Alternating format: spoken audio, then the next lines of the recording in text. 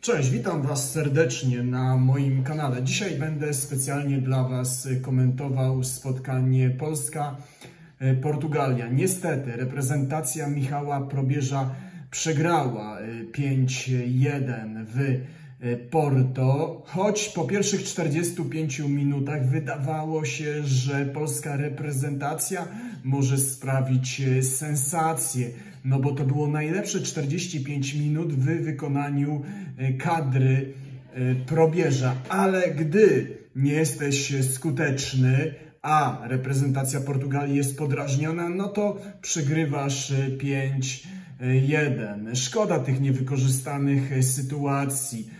Bereszyński, Piątek, Zaleski, przynajmniej jedna z tych dwóch sytuacji powinna zostać zamieniona na gola. A już w drugiej połowie Portugalczycy byli wkurzeni, nam brakowało sił, Bednarek został na ławce, no i ta defensywa się posypała i przegraliśmy, więc, więc, więc po tym spotkaniu jest bardzo dużo wniosków. Ten najwa najważniejszy bez Bednarka była Bryndza. No w ostatnim czasie przyzwyczailiśmy się do tego, że Michał Probierz testuje tych różnych defensorów. Tak cały czas narzekamy na tego gracza, gracza świętych, ale on jako ten potencjalny następca Glika w tym spotkaniu tak zarządzał Kiwiorem i również Piątkowskim, że to wszystko jeszcze fajnie wyglądało. Pamiętacie tą taką sytuację, gdy taki był zirytowany Cristiano Ronaldo, upadał, najprawdopodobniej tam sfaulował Bednarka, no i były gracz Lecha nie mógł wystąpić w, w, w, tym, w tym, tym spotkaniu. Skuteczność. Tu już Wam wielokrotnie na moim kanale opowiadałem. Jeśli polska reprezentacja nie wykorzystuje takich stuprocentowych sytuacji, jakie miał m.in. Piątek, Zaleski, no było tych kilka takich momentów, że jednak polska reprezentacja powinna zdobyć gola. Pamiętamy ten legendarny mecz Polska-Portugalia, gdy drużyna Leo Benhakera wygrywała 2-1, no to Ebi Smolarek miał w tej pierwszej połowie dwie stuprocentowe sy sytuacje i aby zwyciężyć, no to, no to musieliśmy być skuteczni. No i plus do tego bramkarz musi grać fenomenalnie. Pamiętamy, Golański, Bronowicki bronili świetnie, tam Mariusz Lewandowski w środku pola fenomenalnie pracował, no ale bez tych dwóch goli Smolarka i tej stuprocentowej skuteczności, to nie byłoby tam tego zwycięstwa. No pamiętamy, również Żurawski wtedy nie strzelał, więc, więc, więc, więc to też mogło zupełnie inaczej wyglądać. Wykorzystane sytuacje w pierwszej połowie, gdzie no, Martinez to był, chodził wkurzony. Oczy, fajny był taki kadr w tym, w tym spotkaniu, gdy kamery telewizji polskiej go pokazały. Był taki cały przemoczony, no bo tam deszcz padał, widać było w jego oczach takie wkurzenie, zdenerwowanie. No i po przerwie odmienił tą drużynę. Zirytowany Cristiano Ronaldo zdobył dwie bramki. Polacy opadli sił i rozpoczął się festy, festiwal zdobywanych goli, więc, więc skuteczność tutaj wielokrotnie mówię, brak sił. Ja też odniosłem wrażenie, że w tym momencie, kiedy nastąpiła ta strata Urbańskiego w drugiej połowie, później ten karny, co niestety Kiwior tak pechowo ułożył się, piłka trafiła go w rękę, Cristiano Ronaldo strzelił gola, radował się i od tego momentu tak jakby nasza reprezentacja fizycznie, mentalnie siadła. Tym bardziej warto tutaj podkreślić, że Portugalczycy byli wkurzeni. Podopieczni Martineza podkręcili tempo i szczególnie ta akcja na tego karnego no, była tak jak druży, drużyna marzeń grała, tak jakby się oglądało takie spotkanie z Chicago Bulls, gdzie, gdzie tam Jordan do Pipena, do Rodmana. Chodzi mi o to, że po prostu ta piłka chodziła tak jak po, po sznurku i, i aż Kiwior popełnił błąd i Portugalczycy już prowadzili 2-0, no ale tak jak wspomniałem, ta obrona bez Bednarka posypała się Walukiewicz, był taki zagubiony, Piątek grał już zdecydowanie gorzej w tym spotkaniu. Gol Marczuka. To jest e, pozytyw e, tego e, spotkania. Przyzwyczailiśmy się do tego, że Michał Probierz w czasie swojej kadencji zwykle daje zagrać wielu, wielu zawodnikom. Tylko jeden piłkarz nie zadebiutował, a tak to zarówno Marczuk, jak i Kozubal to według moich wyliczeń to był 14, 15 piłkarz, który zadebiutował w polskiej reprezentacji podczas kadencji obecnego selekcjonera. No chyba tak będzie, jak to mówi Wojtek Kowalczyk, że za, tam za ileś lat gdy kolejni selekcjonerzy będą prowadzić kadrę, Michał Probierz będzie właśnie mógł się chwalić. Ten debiutował za moich czasów. Dałem mu szansę. Miejmy nadzieję, że tych wszyscy ci piłkarze jakby potwierdzą e, tą e, swoją dyspozycję i zadomowią się w tej, w tej kadrze. Dobrze było, ale ta zmiana Marczuka była moim zdaniem bardzo dobra. Pozytywnie pokazał się ten gracz Utah, który gra w MLS. Pojawił się już w pierwszych minutach.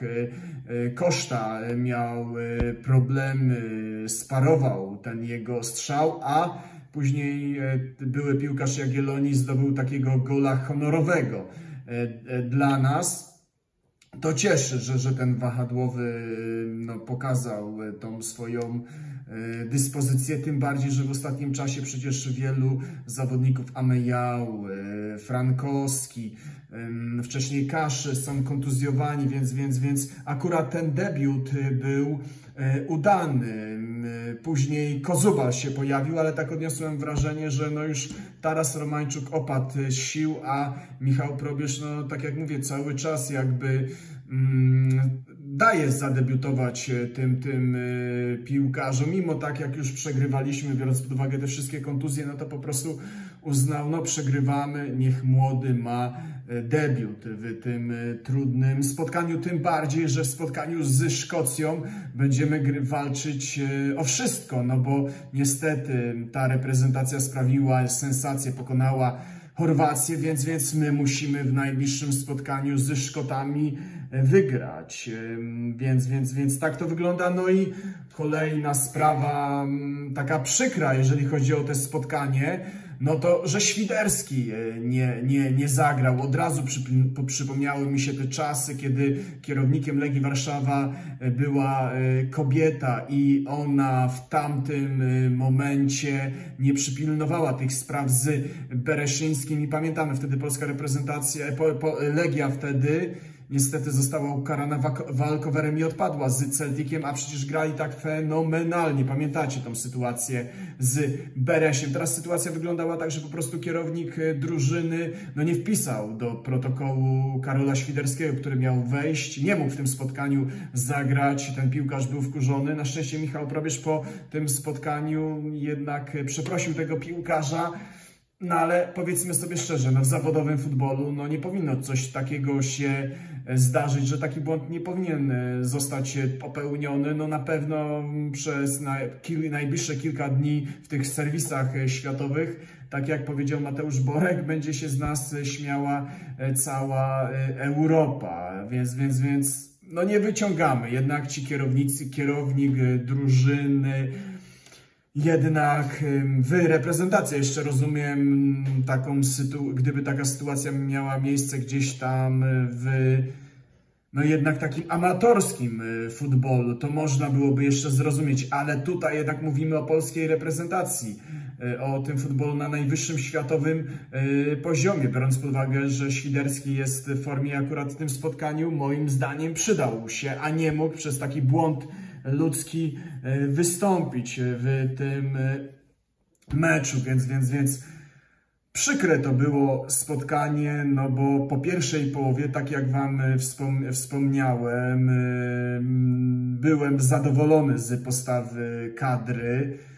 Liczyłem, że tego gola zdobędziemy, no ale niestety błysk Leao i ta strata Urbańskiego, no i nasza reprezentacja się posypała. Szkoda Bartosza Berystrzyńskiego, no bo to też jest kolejny piękny wniosek. Ten piłkarz, który w ostatnim czasie był trochę tak odstawiony przez Michała Probierza, dostał tą swoją szansę dzięki między innymi E, kontuzji e, swoich rywali, no bo pamiętamy, Frankowski nie mógł e, wystąpić w tym spotkaniu, no i Bereś do momentu kontuzji był najlepszym zawodnikiem w tym spotkaniu. Mogła się ta podobać ta współpraca jego z Piątkowskim. Szkoda, że nie wykorzystał tej sytuacji i doznał kontuzji. Michał Probierz próbował zmieniać w drugiej połowie, jak przegrywaliśmy, no, wprowadził Kamińskiego, E, który, który zmienił e, Beresia, ale widać było ten dyskomfort, bo jednak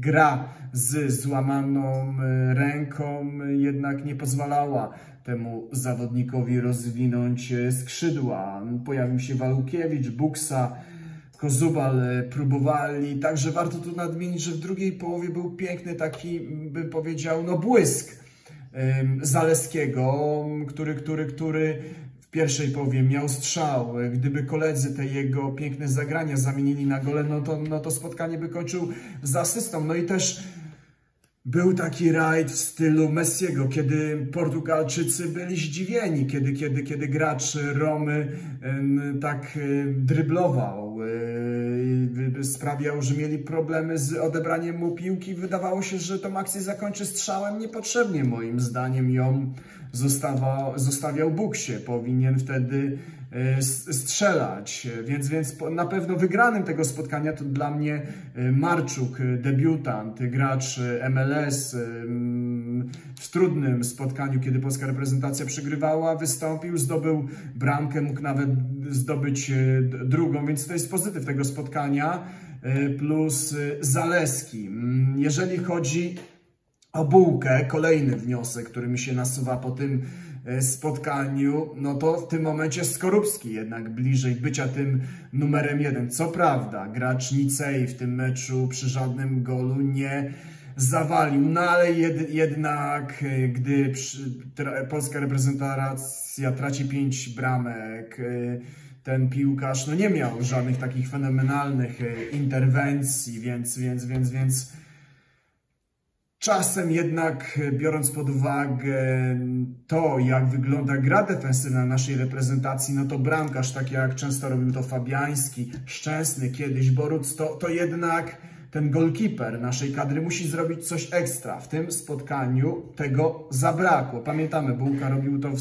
w tych meczach z Chorwacją, ale też miał e, taki niefajny wykop w pewnym, w pewnym momencie, gdzie, gdzie to się zakończyło stratą. Jeżeli chodzi o obrońców, e, no to gra Kiwiora, również Piątkowskiego mogła się podobać, póki na placu był Bednarek. E, kiedy on opuścił um, plac gry, no to już Cristiano Ronaldo nie był zirytowany, mógł rozwinąć skrzydła i były gracz Real Madryd zdobył dwie bramki. Jeszcze ta, ten gol zdobyty tymi nożycami, no to, to był stadiony świata. Już niedługo ten gracz będzie miał w lutym 40 lat, a cały czas jest tym golladorem.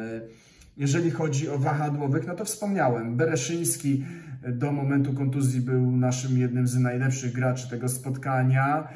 Zaleski znów miał e, przebłyski. Taras Romańczuk za pierwszą połowę mógłby być chwalony, no bo, no bo miał te odbiory, e, przechwyty, ale już w drugiej połowie jakby brakowało mu e, sił. Nie dogonił e, Leao i to było właśnie przy, przykre. Jeżeli chodzi na przykład o Bogusza, no to, no to mogła podobać się ta jego współpraca z Urbańskim, z Zielińskim do mm, tego momentu, kiedy, kiedy, kiedy graliśmy najlepszą połowę za czasów Michała Probierza. Potem to już gorzej wyglądało. Niestety ten gracz znów został e, zmieniony e, po pierwszej e, połowie. Szkoda Sebastiana Szymańskiego, który, który przed tym spotkaniem doznał kontuzji. Jeżeli chodzi o piątka, no to tutaj liczyłem na to, że ten były gracz Milanu, gdy zagra w pierwszym składzie, wykorzysta tą szansę. Tutaj próbował, szarpał, walczył, no ale zabrakło najważniejszego, czyli skuteczności. No nie dał rady zastąpić lewego. Szkoda, że w takim stylu przegrywamy to, to spotkanie, bo tak jak wspominałem w poprzednich odcinkach, no liczyłem na e, remis. No ale właśnie, Portugalczycy pokazali klasę.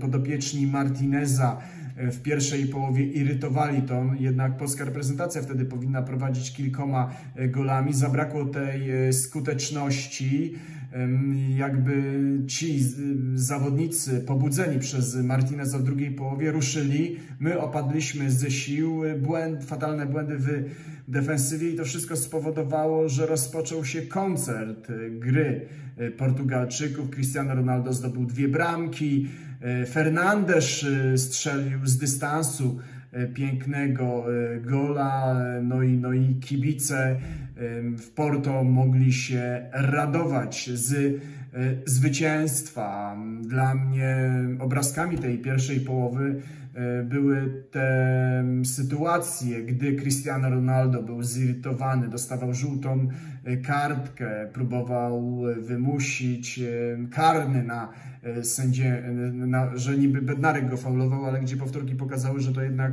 jednak to bardziej był faul Cristiano Ronaldo. Martinez taki zirytowany, wkurzony. No i właśnie mm, podopieczni Martineza w drugiej połowie pokazali, że są tak, taką drużyną klasową. Grali jedną z gorszych pierwszych połówek w ostatnim czasie u siebie w domu, no to w drugiej połowie jakby to wszystko, co złe, wy, wynagrodzili e, kibicom, no i Polaków niestety zdemolowali.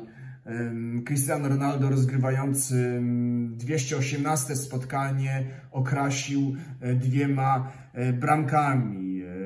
Brakowało Roberta Lewandowskiego w E, tym, tym, tym spotkaniu. To jest gdybanie. Pewnie Lewy tą sytuację, którą miał piątek, wykorzystałby w tym e, spotkaniu. Tak, pewnie było. Tym bardziej mi szkoda, że Świder nie mógł zagrać w tym, w tym e, spotkaniu. Więc, więc, więc to był zimny prysznic kadry Michała Probierza.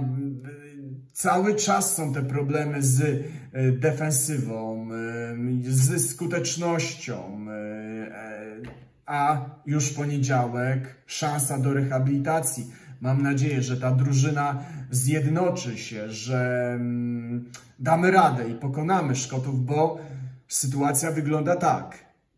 Szkoci są w tym momencie przed tym decydującym spotkaniem na fali. Zwyciężyli, pokonali y, Chorwatów. Tak mentalnie wierzą w siebie. My jesteśmy zdemolowani, y, bo straciliśmy kilka goli, dużo kontuzji jest w naszej kadrze. Ta sytuacja z Świderskim na pewno po tym spotkaniu mm, niektórzy dziennikarze będą bardziej krytyczni ode mnie. Kibice pewnie mm, również uderzą w polską reprezentację, więc mam nadzieję, że Michał Probierz jest dobrym motywatorem i tą drużyną wstrząśnie i damy radę z reprezentacją e, Szkocji i e, jakby no, wygramy i damy sobie szansę gry w tych barażach o utrzymanie w tej, e, w tej lidze, bo, bo, bo, bo jednak gra z silnymi rywalami w Lidze Narodów pozwala tej naszej kadrze jakby ogrywać się, wiadomo jak się mierzy z lepszymi, to z biegiem czasu nawet te porażki kiedyś zaprocentują. Kiedyś wielokrotnie mogliśmy się o tym przekonać, pamiętacie tą kadrę USA, która przygotowywała się do mistrzostw w 1994 roku e, u siebie oni grali z najsilniejszymi, później na tamtym mundialu e, grali e, fenomenalnie, więc, więc może gdybyśmy byli w tej drugiej dywizji, to byśmy wygrywali mecz za meczem z innymi ry rywalami, no ale ten progres nie byłby tak na takim wysokim poziomie, a dzięki temu, że gramy z Portugalią, Chorwacją, no to oni pokazują, gdzie jest nasze miejsce w tym e, szeregu, plus zarabiamy dobre pieniądze za te prawa e, marketingowe, no bo wiadomo, że sponsorzy wolą grać w dywizji A niż, e, niż, niż B. Aby wygrywać z Portugalią i z Chorwacją, no to jednak ta defensywa musi zdecydowanie lepiej wyglądać, więc, więc, więc w spotkaniu ze Szkocją ja cały czas y, oczekuję mm, zwycięstwa, bo jeżeli chodzi o ten mecz, no to kalkulowałem, że możemy z Portugalią przegrać, y, liczyłem y, na remis, ale nie brałem pod uwagę, że będzie aż taki blamasz. No to można powiedzieć, że to chyba był Zimny prysznic dla e, Michała e, Probierza. Tak szybko sobie jakby tutaj próbuję otworzyć i przypomnieć wszystkie jakby takie spotkania Michała Probierza, biorąc pod uwagę jego karierę tą e, trenerską, gdy był szkoleniowcem Krakowi, to teraz tak na szybko nie przypominam sobie aż tak smutnego e, wieczoru, gdzie tyle bramek e, stracił. Jestem ciekaw, jak wy oceniacie to spotkanie. Wygrani tego, tego meczu to na pewno debiutant Dominik Marczuk, czyli kolejny gracz z MLS, e, pokazał, że jest w stanie udźwignąć tą presję, wchodzi w, jako rezerwowy i zdobywa bramkę w stylu urbańskiego, no bo pamiętam, że ten, ten gracz skoczył do kadry za czasów Micha, Michała Probierza jako debiutant, potwierdził tą wysoką e, dyspozycję, teraz Marczuk tak dostaje szansę. E, pamiętamy o tym, że kadra jest to takie miejsce, że nie zawsze zawodnicy, którzy dostają ten debiut, jakby są w stanie zagrać na tym wysokim e, poziomie, więc nawet biorąc pod uwagę, że to był taki blamasz, no to doceniam postawę Marczuka, cieszy postawa Bereszyńskiego, który, który już wielokrotnie pokazywał, że gra na wysokim poziomie, że w reprezentacji nie zawodzi, a szkoda, że doznał tej kontuzji. Zaleski znów miał e, te przebłyski. No i chyba to byłoby na tyle, jeżeli chodzi o chwalenie tych zawodników. No i tutaj warto docenić Bedynarka, że grał bardzo dobrze. Jeżeli chodzi o ten skład, który ja e, prezentowałem, no to jak widzicie, to e, trafiłem no, z dziewięcioma nazwiskami. Byłem blisko wskazania dobrego y, zestawienia. Jeśli podobał się Wam mój materiał, pamiętajcie łapce do góry. Zachęcam do subskrypcji mojego kanału. Jeżeli chodzi o takie sprawy bieżące, to pewnie w sobotę pojawi się taki materiał, będą wnioski po tym, tym spotkaniu już tak na spokojnie. Również w niedzielę będą wygrani i e, przegrani. No a w poniedziałek tradycyjnie po spotkaniu Polska-Szkocja będę dla Was nagrywał e, materiał. No, dziękuję Wam serdecznie za uwagę. Do zobaczenia wkrótce. Hej!